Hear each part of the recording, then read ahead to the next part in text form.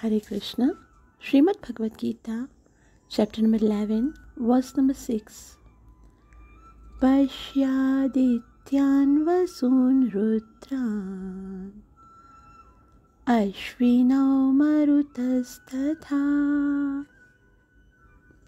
Bahunyadrishtapurvani पश्याश्चर्याणि भारत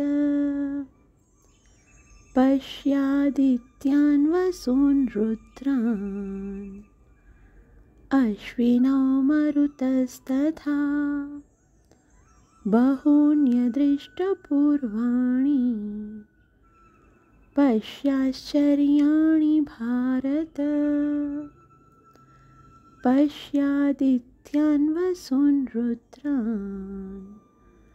अश्विनौ मरुतस्तथा बहून्यदृष्टपूर्वाणि। पश्याश्चर्याणि भारत।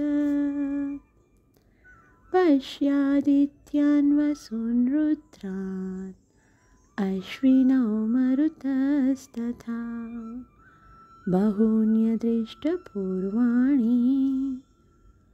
पश्याश्चर्याणि भारत। अर्थात हे भारत, लो, तुम अदितियों वसुओं रुद्रों, अश्वनी कुमारों तथा अन्य देवताओं के विभिन्न रूपों को यहाँ देखो। तुम ऐसे अनेक आश्चर्यमय रूपों को देखो, जिन्हें पहले किसी ने ना तो कभी देखा है, ना सुना है।